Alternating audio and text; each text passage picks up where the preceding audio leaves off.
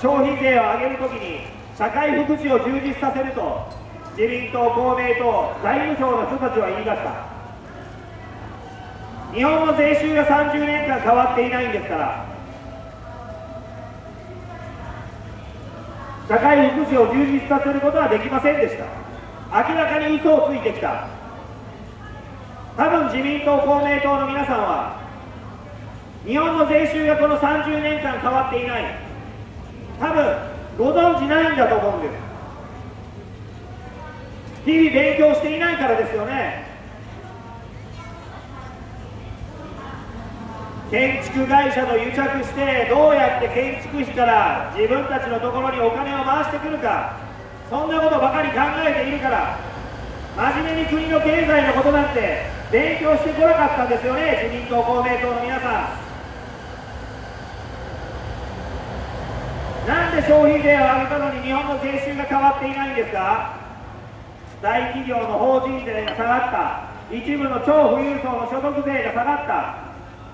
お金持ちは税制優遇しておいて庶民から莫大に増税をかけてきた。だから国の経済が疲弊して特に若い人たちの生活が困窮して国が活力を失って GDP が下がって給与も下がったんです。GDP が下がっているっていうことは国の稼ぐ力が落ちているっていうことですよ。少子高齢化なのに国の稼ぐ力が落ちたらどうなると思いますか？社会福祉の費用を賄えないっていうことですよね。それはつまりどういうことですか？お金のないお年寄りにはもう死んでくれ。そういう社会にこれからなる。今あなたたちがそういうことをしようとしているってことですよ。岸田政権に代わって再分配だとかなんとか言ってますけれどもどうやって再分配するんですか？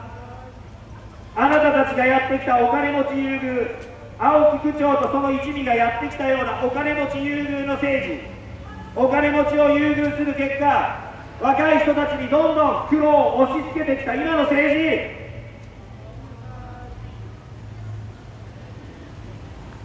よく駅前でのうのうとそうやって選挙の時だけお願いしますって言いますよね。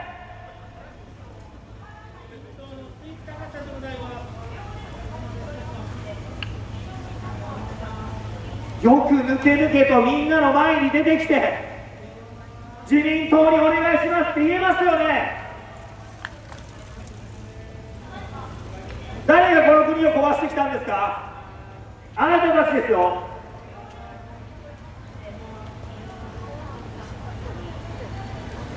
政治を変えれば日本の経済を良くすることはできます。何も勉強しないしがらみにとらわれてこの国を変えることなんてしない。自民党公明党の人たちにとにかく今回の区議会選挙で投票するのは皆さんそれだけはやめましょ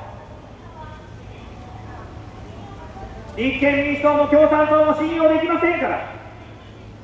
は翼の党根本良介27歳。に翼の党根本良介27歳に皆さん1票預けてみてください。少なくても自民公明に投票すれば皆さんの生活は悪くなります。万が一私たち翼の党に投票しても皆さんの生活が悪くなることはありません。だから安心していただいて自民公明ではなく立憲共産党ではなく翼の党根本良介27歳翼の党根本良介27歳に皆さんの一票今回は預けてください。日本にはできることたくさんあるんです。日本は世界で一番お金を持っている国です。これ本当ですからね。日本の個人金融資産は1900兆円ぐらいあります。1900兆円ものお金を持っている。世界で有数のお金持ちの国日本。お金持ってるんですよ。お金持ってるのに国民葛飾区民が困窮するって。どういうことですかね自民党の皆さん、まあ、皆さん多分日本国の個人金融資産が1900兆円あるって知らないんですよね。知らない。残念ながら。それで政治家が務まるのかっていう話なんです。日本の経済は明らかに沈んでいっています。何より若い人たちの生活が困窮している。日本の国際競争力。いろんな統計がありますけれども。日本の国際競争力は今31位とか35位とかって報告が出ています。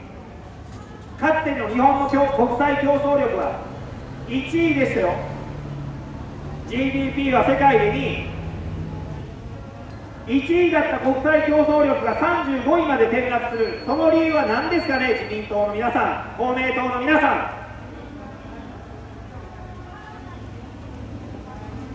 若い人たちのチャンスを潰して本当は若い人たちにお金を回さないといけないのにあなたたちが国民や葛飾区民が払った税金で自分たちの私腹を肥やしてきたからですよね。葛飾区でいうとタワーマンションの建設にお金を使いすぎですよね。税金を使いすぎですよね。タワーマンションの建設は民間の企業に普通にやってもらいましょう。ほとんどの葛飾区民タワーマンションに住んでませんよ。自分が住んでないタワーマンションの建築に税金を投入されて税金はみんなで払うんですから。不公平ってやつですよね。そんなデタラメな政治をやっているから格差社会格差社会って言って格差が広がってきたんですよね。お金持ち優遇建築会社と自民党公明党の政治家が癒着をして皆さんが払った税金から自分たちの懐にお金を貯めていく。そんなことをやっているから若い人たちのところにお金が回らないんですよね。1900兆円もの個人金融資産がある日本でお年寄りが生活を苦にして自殺するような時代になってしまったんですよね。まあ自民党、公明党の皆さんは自分たちのことを勝ち組だと思っていらっしゃいますから下々のものがどうなっても知らないんですよね。上流国民だと。思い込んでいる自民党、公明党の皆さん。思い込んでるだけですからね。日本国が沈んだ時には本当に沈むとなった時にはあんたたちが国民全国民から責任を問われる時代がもう目の前に来ているんだ。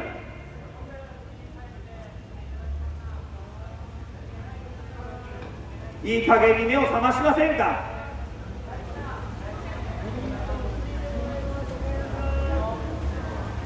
今の日本今の葛飾区このままでいいですかね？コロナ禍でコロナ禍になる前から国民の生活賃金はどんどん下がる税金は上がる若い人たちが困窮する国際競争力は落ちる GDP は下がる稼ぐ力は落ちる。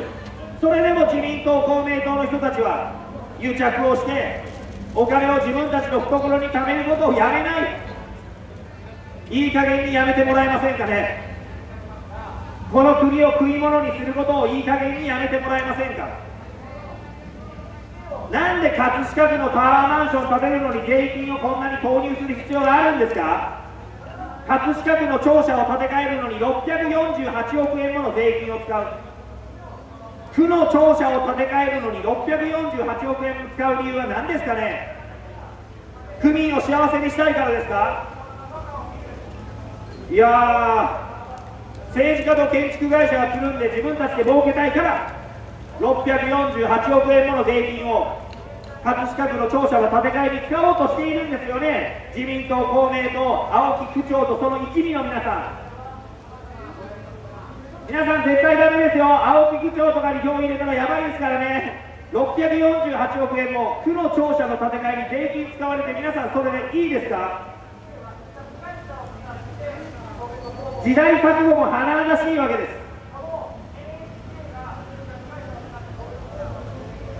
箱物行政土建利権区の庁舎を建て替えたいのは自分たちが儲けたいから。葛飾区の庁舎。別に今崩れてないですよね。直して使ってもらったらいいんじゃないですか。当たり前じゃないですか。今コロナ禍で葛飾区の人たち困っている人たくさんいますよね。そういう人たちを救うためにお金を使うべきじゃないですか。水害対策とか葛飾区は川の周りの地域が多いですから。洪水が起こるかもしれない。そういう災害対策に予算を使うべきじゃないですか。タワーマンションの建築にたくさんの税金を投入する。648億円もかけて区の庁舎の建て替えをしようとしている。そんなことしたら区民がいくら税金を払っても区民が豊かになることはありません。これがまさに今の政治です。でも皆さんも悪いんですよ。自民党や公明党になんとなく頼まれるから投票してきた。立憲民主党がちょっといいこと言ったらまあなんとなく入れてしまった。確かに自分たちが投票したい政党ありません。少ないです。とても少ないです。だから私たちは自分たちで作りました。翼の党翼の党でございます。なかなか難しいと思いますけれども特に若い人たち政治に興味があればぜひ自分で立候補してみてください。世の中に投票したい先がないなと思えば自分が投票してもらう側に回る。難しいですがでもそういうことをやらないといけない時代が目の前に来ています。今葛飾区議会議員の平均年齢は58歳です。平均年齢58歳の人たち。高年齢すぎるということです。20代の区議は1人もいません。若い区議が少ないということは若い人たちの生活には誰も関心がなくなってしまうということです。根本良介27歳。根本良介27歳に皆さんぜひ力を貸してほしいんです。若い力で皆さんと一緒に政治を変えていきたい。根本良介27歳今回立ち上がって活動をしております。今週の日曜日が投票日でございます。皆さんぜひ根本良介に皆さんの一票今回はお預けください。若い人たちの生活を立て直すために世の中を変えていくべきだ。翼の党は本当に何千回何万回も街頭で訴えてまいりました。例えば派遣社員の問題。30年前には派遣社員とかいませんでしたね。派遣法は今のような形になっていませんでしたから。今は働いている人の4割が非正規雇用派遣。正社員と同じだけ働いているのにもらえる給与が少ない。だから若い人たち困窮する人が多くなってしまいました。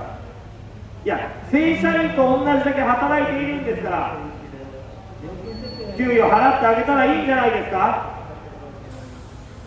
正社員と同じだけ働いても払う給与が少ない。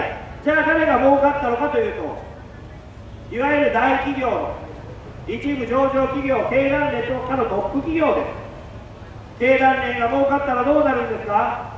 や経団連から自民党に多額の政治献金がいっているわけですよね。ここでも大企業優遇働いている人たちは軽視。何より若い人たちの生活が壊れても何とも思わない。口では少子高齢化が大変だと言っておいて少子高齢化が本当に大変だったらもう派遣法やめたらいいですよ。昔のように正社員が増える世の中、まあ、正社員にしておいてさまざまな対応策はございますよ。むしろ解雇を比較的できるようにしていく。今の日本では企業側が解雇をすることが極めて難しい世の中です、まあ、それがあるから逆に派遣法なんかがもてはやされて派遣社員が多くなってしまった。でも正社員を増やした方がみんなの給与は増える。これは明らかに分かっております。30年間で15%も給与が下がってしまった。その理由の一つは派遣法であったり非正規雇用が多いという今の世の中です。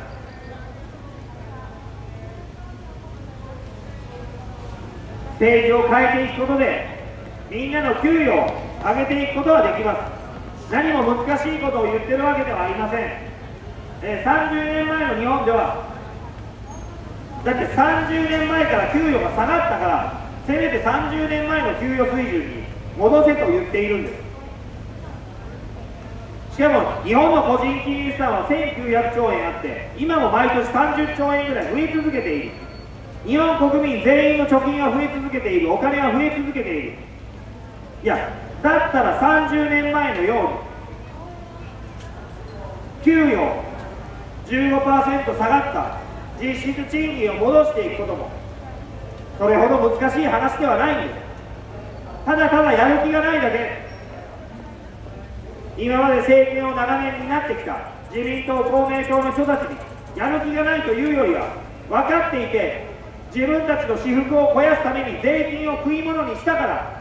その結果国民に回ってくるお金がなくなったと。これは私はもう犯罪のレベルだと思いますよ。力のある人たちは国民や葛飾区民のためにより働かないといけないわけです。武士は食わねの高い王子と昔は言ったわけでございますが武士がそんなにブクブクと太ってどうするんですかね。政権を担うということはそういうことですよ。自民党公明党の皆さん私たち翼の党はずっと前から消費税をゼロにすることはそんなに難しくない。派遣法もなくすに近い状態で変えていこう。派遣社員の数を減らして正社員を増やすような政策転換をしていこう。国政の場においてはそういう政策を長年訴えてまいりました。今回の葛飾区議会選挙ではタワーマンションを建てるのにたくさん税金を使っていると。これはやめましょうと。その税金をコロナ禍で困っている人や若い人たちの経済を立て直していくために使いましょうと。そのように訴えております。これは難しいことではございません。税金でタワーマンションを建てる。そのタワーマンションにはお金持ちが住む。税金を払うのは庶民も含めてみんなが払う。ほとんどの人はタワーマンションに住んでないんですから。そんなお金持ちを優遇してタワーマンションを建てるために建築会社と自民党公明党が癒着して自分たちが儲ける。そのような政治を変えて皆さんの生活を良くしたいと。根本良介27歳。根本良介27歳を立ち上がっております。そちら伊東洋華堂で期日前投票も本日から始まっております。今日今そこで根本良介に投票することができます。私根本の応援に参りました。黒川敦彦でございます。翼の党の代表黒川敦彦、えー、私のお話をお聞きいただいて、えー、なるほどと思った方はえー、ぜひそちらの伊東洋華堂で期日前投票をやっておりますので根本良介27歳。根本良介27歳今回皆さんの一票お預けいただけましたらと思います、えー、私、えー、根本の応援に参りました黒川の、えー、応援演説、えー、ひとまずこれにて、えー、終了させていただきます、えー、この後また、えー、マイクをつなぎまして、えー、もうしばし、えー、こちら葛飾葛飾区亀有駅南口で、えー、街頭演説を続けさせていただきたいと思います、えー、ご清聴ありがとうございました。